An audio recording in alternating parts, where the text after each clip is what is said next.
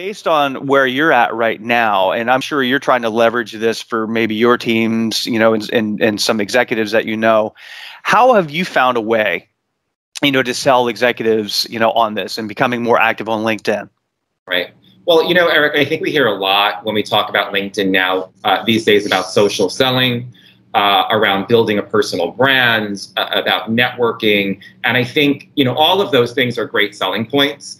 But I do think that the platform is so much more than that. And what I don't hear a lot about is LinkedIn as an educational tool. And so, of course, there are things like LinkedIn Learning.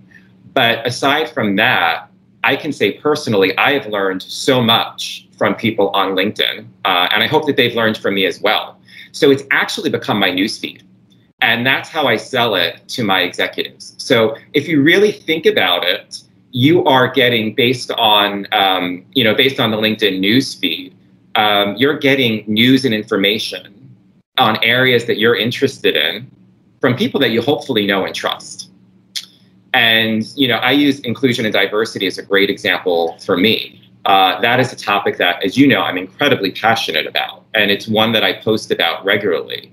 Um, but it's also a topic that I've learned a ton about from so many experts on LinkedIn. So when I sell this to my executives, yes, there's the social selling, there's the networking, there's the personal brand aspect, but also I'm working with executives that also want to be in the know, right, in their field. And so it's a great news feed. It's also a great way to share your expertise.